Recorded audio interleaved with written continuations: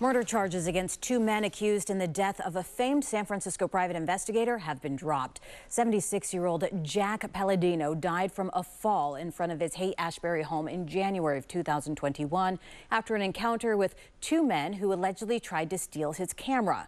Turns out the primary witness in the case never actually saw what happened.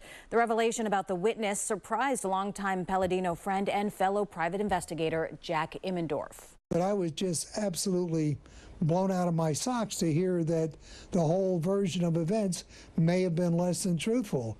And a witness recanting their testimony while under oath during a preliminary hearing, yeah, I can certainly understand why the DA uh, had to dismiss the charges.